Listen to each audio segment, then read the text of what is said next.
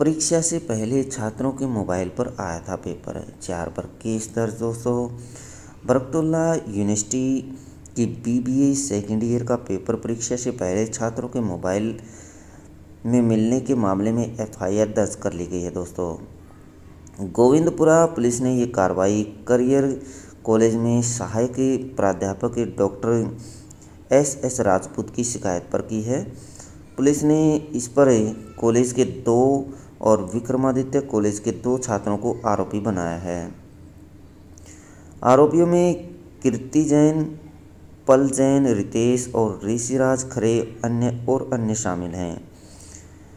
उनके खिलाफ धोखाधड़ी, आपराधिक साजिश साजिश और मध्य प्रदेश मान्यता प्राप्ति परीक्षा अधिनियम के तहत केस दर्ज किया गया है। मोबाइल फ़ोन से खुलेगा राज।